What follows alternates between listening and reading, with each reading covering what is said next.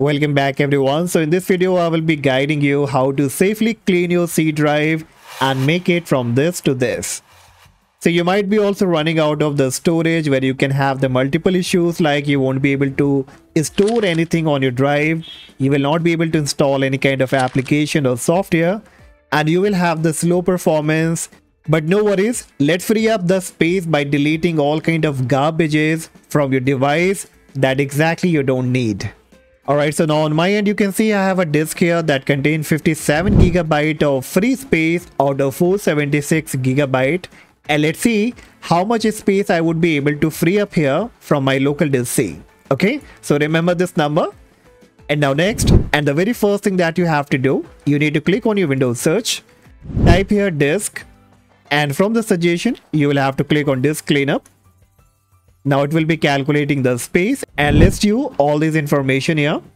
And at the very top, you can read here, it says you can use disk cleanup to free up to 27.9 gigabyte of disk space on the C drive. So on my computer, it shows me an average that somewhere around 28 gigabyte I can free from my C drive. Now this number can be less or more on your end. And below you can see all kind of file, all kind of categories and these all categories are basically the temporary and the cache file so you don't have to worry as it will not be affecting your system file or any of the operating or any of your data file. So you can check all of them like DirectX, shader cache, temporary internet file, delivery optimization file, recycle bin, and you can see my recycle bin takes around 20.9 gigabyte. Then we have the temporary file that is occupying around 6.84 gigabyte and that's a huge so i will select it and click on ok then it says are you sure you want to permanently delete this file now also make sure before clearing the recycle bin file assure yourself that you don't need all these files that you have deleted and move to the recycle bin you can recheck it if you want to and then finally you have to click on delete file and now depending that how much space need to be cleaned out, it may take some time. So you will have to wait until it's all been done. Okay, so once it get all deleted, now it may take some time guys. So you have to keep some patience because I have seen that sometime it goes around 20, uh, 15 to 20 minutes. So you will have to wait, okay? Okay, so once the disk cleanup is being completed, now next what you have to do, right click on the Windows icon, click on settings. From the left hand menu option here, you will have to click on apps then click on installed apps and this will list all kind of application and all kind of software that has been installed on your device. Now why I'm recommending you this method because many time it happen that you have installed many kind of application, you use that for a while but now you don't need it but you forgot to uninstall it but still it's taking a lot of space in your drive so it's better to go ahead and clean them.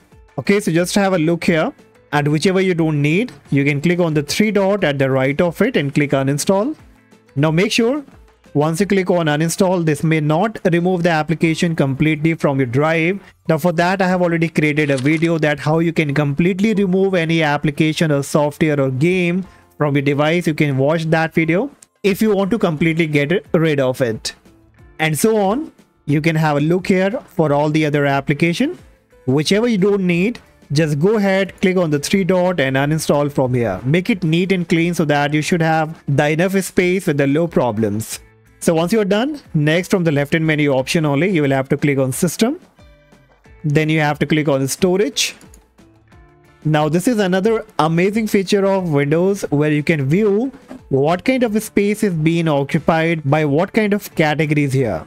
So on my end you can see the maximum space is being occupied by the document and it is taking around 174 gigabyte of space.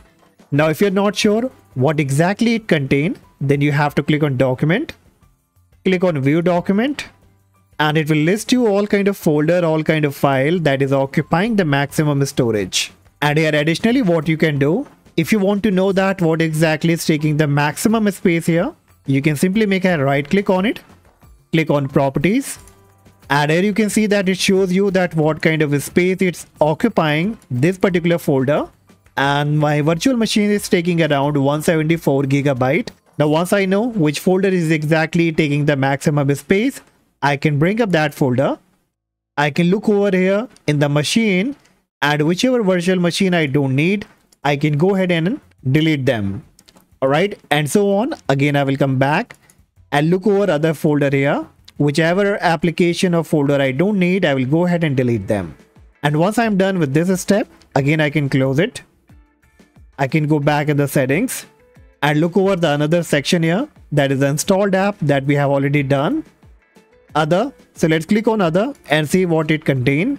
So it shows me the Riot game contain around 49.8 gigabyte. So if I'm using the Riot games and playing the Riot games uh, like Valorant, I don't have to delete them. But if I'm not using it anymore, then I can go ahead and delete them. Then we have the LD player that is an emulator and it's taking around 5.6 gigabytes. So that's okay if I'm using it. But if I'm not using it, again, you have to go ahead and delete them. Next, we have the video section and then we have the temporary file. So again, I can click on temporary file here and it will let you know that what it all contain. Like the temporary file is around 4 gigabyte. Then you have the download section. Now my download section contains many important files, so I will not be deleting as of now. So if you have such users of the download, you can uncheck it. But if you feel no, you don't need the download section, then you can check it that as well. System error, memory dump file, we don't need it. Defender antivirus file, we don't need it. Microsoft driver packages, thumbnails, system error, Windows upgrade log file, delivery optimization file. I don't need all of them. I will select it and click on remove file and click on continue. And once it will be done, it says finish temporary file cleanup. Now you can go ahead and close it. And now we are only remaining with the final step where we have to assure that there is no temporary file in the Windows 10 or 11 background. So for that, right click on the Windows icon, click on run, type here temp that is the temporary file and it will list you all kind of file here so press ctrl a from your keyboard to select them all then press shift and the delete key to permanently delete all these temporary file and click on yes if it asks you for the permission check the box click on continue then check the box again and click on escape because it won't be able to delete all these files because many files they are still running in the background as we are using the different application like OBS, browser or any other kind of application. Next again right click on the Windows icon, click on run and here before the temp you have to add percent and after the temp also you have to add percent. So it will be percent temp percent click on OK. Again here Press Ctrl A to select all. Press Shift Delete and click on Yes. Check the box, click on Escape. Bingo. Alright, so now we are almost done.